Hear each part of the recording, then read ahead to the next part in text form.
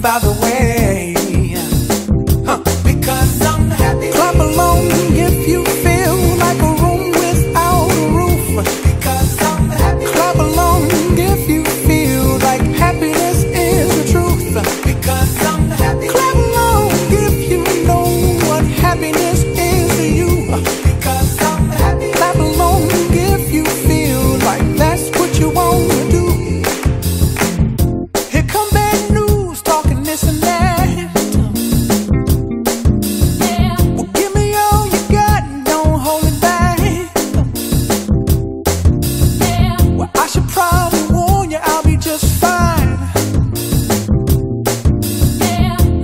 Reference to you.